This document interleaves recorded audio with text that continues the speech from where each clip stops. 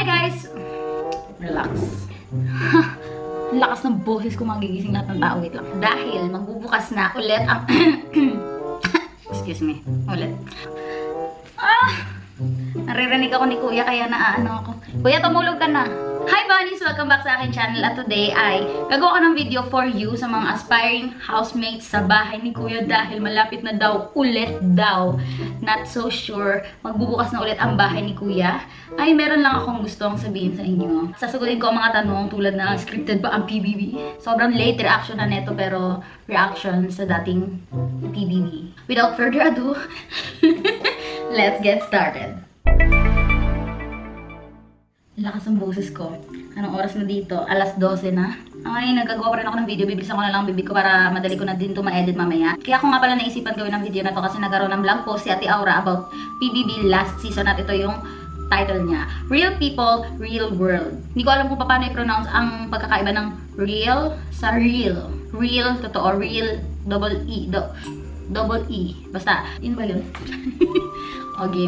Kasi nabasa ko ito at hindi pa ako tapos magbasa as of now. At naisipan ko gumawa ng video for you dahil bago ligo ako. At nakapagsuklay ako today. At naisipan ko din the whole time talaga akong gumawa ng video about this, about my opinion. Pero dahil naglabas na ng opinion si Ate Aura, gagayahin ko na siya. First of all, sobrang late reaction na. Hindi ko alam kung up to date ba to. Pero sana nga magbukas ng Pinoy Big Brother ulit. Para naman may katuturan dun sa sabihin ko. Medyo gagayahin ko na rin siya. Parang reaction video na rin to ng vlog post ni Ate Aura. Kasi first stanzas pa lang. Stanzas? Ano to? Tula, ma'am? first first paragraph pa lang. Paragraphs. Pwede ba yun? First paragraphs pa lang ay super agreeable siya for me. At siguro sa mga iba rin ex-housemates. Oh, ito, ito yung sabi niya. Finally, our lucky season is over. The hype has passed. Is it okay to start talking now? Wah, bale, after one year po yung reaction namin. Pasensya ka na. I originally wrote this post just a few weeks after I got evicted and it's been on draft mode ever since it's time. Siguro ito din, yung feelings ko about that ay hindi ko alam kung lahat ng sasabihin ko. Siguro i-edit out ko pa yung iba, pero hindi ko alam kung lahat ng sasabihin ko ay pwede. Pero, I'll try. Basta yung mga pwede nyo lang malaman yung masabi ko, sana. I may no longer be as relevant at the time you are reading this, but what I personally learned and what I am about to share will always be. Especially since the show is said to be returning sooner than we all think. Source. Not so reliable. Truth. Um, yun din, it's more on, mas kilala na ako ngayon as, wow, wow.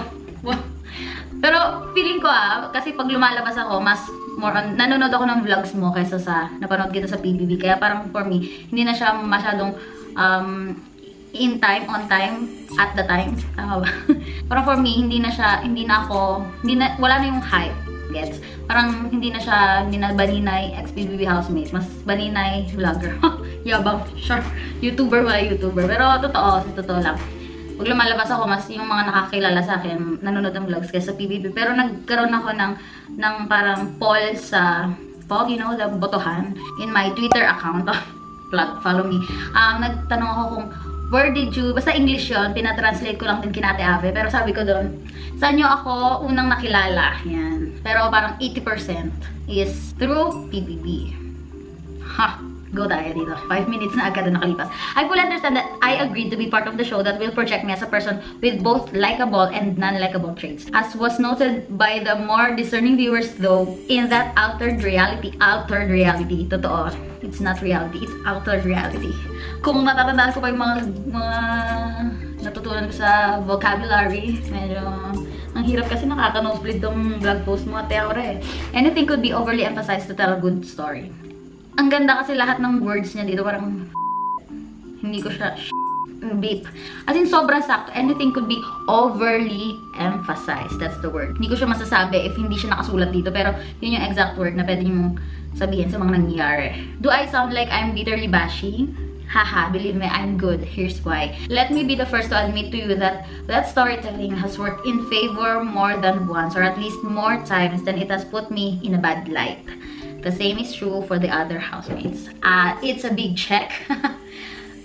um, ang daming times na parang marami kami nagawang hindi talaga maganda for TV. Siyempre, hindi papalabas. Pero, totoo yung mas in favor sa amin, minsan, yung mga pinalabas. Like, for example, may mga bagay na shinare ako na hindi lumabas sa bahay ni Kuya dahil feeling ko kung lalabas siya ay makakasama for me na hinalik, hinalikwat, ano yung tawag nun sa Manila. Ah, parang hinalikwat, um, um, hirap, hinalikwat. Parang alam niyo naman ata sa Manila yan. Pero, sinerch ko yan. Sinerch ko sa Facebook, sa YouTube, um, sa mga videos ng PBB ko na ipalabas yun, pero thank God hindi. May mga ganun. Tapos may mga nasasabi kami na buti na lang hindi pinalabas, ganyan.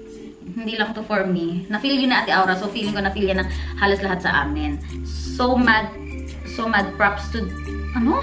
Ate Aura, hirap na hirap ako intindihin to, bash.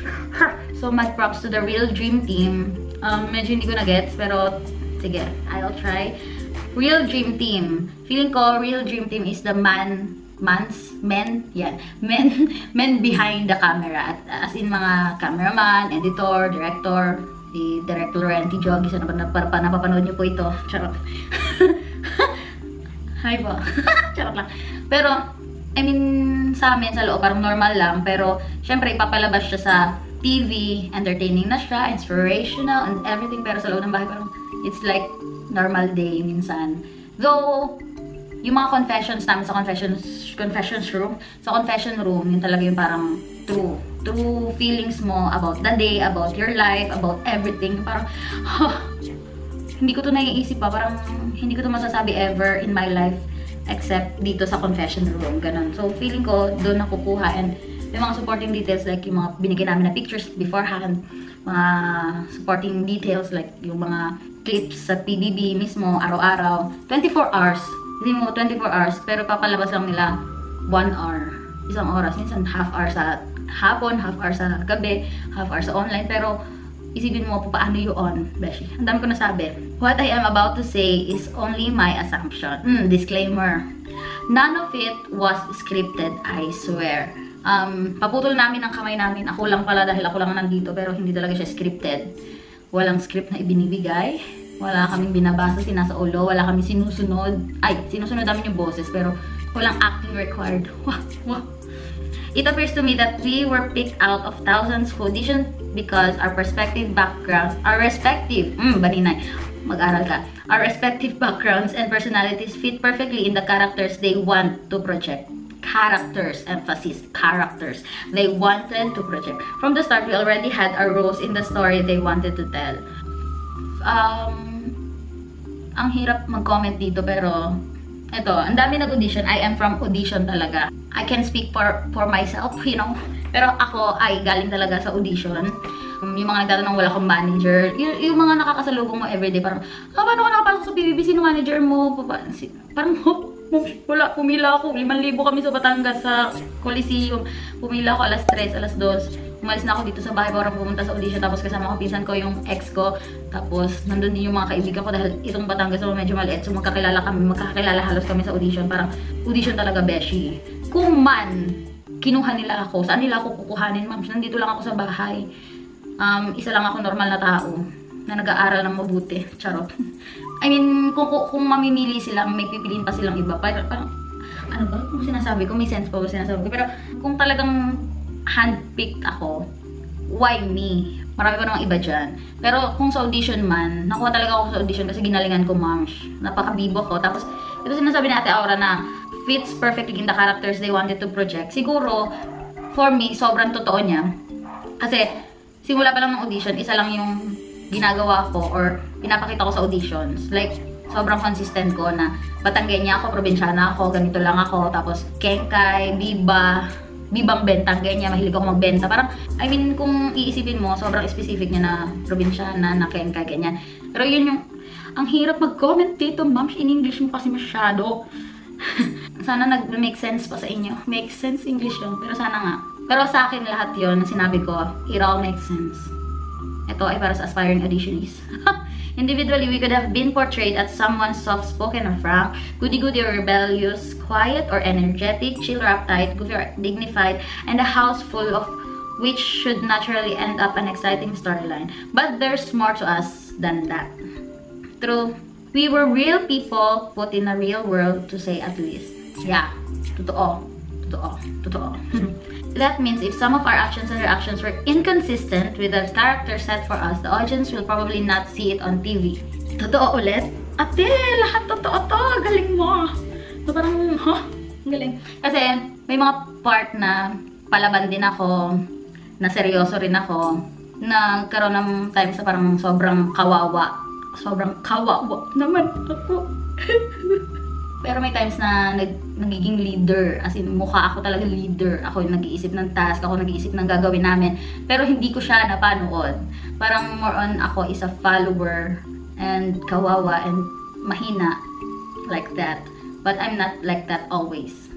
Ang hirap magsalita, master ko alam ang bawal o hindi. Pero ito sige. Hindi ka naman 20, eh, siguro sabihin to ni Ate Aura dito. Pero, ah, okay. Okay. Sinabi niya nga, here's more specific scenario. Likewise, the assigned comedian of the group is not trying to be funny 24-7. Nor is the resident bitchesa always so hard to get along with. Ang hirap magkwento mo. Sayo kong maban sa YouTube. Baka bigla akong i-copyright strike. Charot. Ha, hirap na ito trabaho, ma'am. It's just that those parts of their personality are the ones that are most often emphasized on the final edit to elicit good reactions from the viewers. But inside the house, we had no idea what was being aired and what was not. Still, we're all good. Ito pa, pag may nakakasalubong ako or something, hindi pa talaga kayo nakalabas ng bahay, hindi nyo pa talaga alam yung, Ma'am, hindi talaga, hindi talaga, Beshi, hindi talaga namin nalalaman kung ano yung pinapalabas. Ulit-ulit na ata ako, pero yung iba sa inyo alam, yung iba sa inyo naguguluhan pa, pero take it from me. Wow, pumi-English na, wow, influencer ka talaga, Ate Aura, pero take it from me, wala talaga kaming alam outside. Siguro yung mga pagpunta namin outside world, nakikita rin siya sa TV. Like, nung lumabas kami para mamigay ng regalo, pinalabas din yun sa TV, of course. Tapos, nung lumabas si na Ate Ali at si Tanner for their task na manguha ng basura, pinalabas din. Yung mga times na lumabas talaga kami sa bahay ni Kuya, sobrang stricto pa rin siya. Kahit lumabas ka ng bahay ni Kuya, kahit along the way naka-blindfold ka and wala ka naririnig kasi nakatapal yung tenga mo. Pero sobrang ingat nila sa part na yon na kahit kunwari makikita nyo sa loob ng bahay ni Kuya, nag-iiba yung pwesto ng mga bagay-bagay kinabukasan. Yun yung iniisip ko as a viewer dati. Ang totoo niyan, kunwari may mag-iba sa amin. Ibig sabihin nun, kinulong kami sa kwarto, tapos inayos nila yung kailangan nila ayusin, saka kami palalabasin. Or kung may papasok na tao, naka-black, all black siya, or naman naka-blindfold kaming lahat. As in, zero reach sa outside world. Ma'am, walang TV, walang radyo, walang anything, walang orasan. Makikita mo lang yung sun na nasa taas na, tirik na tirik na siya. So, alas 12 kami ginising today. Parang ganun. At magbihis kayo. Yun na lang. Wala sinasabi magbihis kayo. Nomination night ngayon. Magbihis kayo. Eviction ngayon. Wala lang ganun. Magbihis lang kayo. So, pakiramdaman na lang. Gets?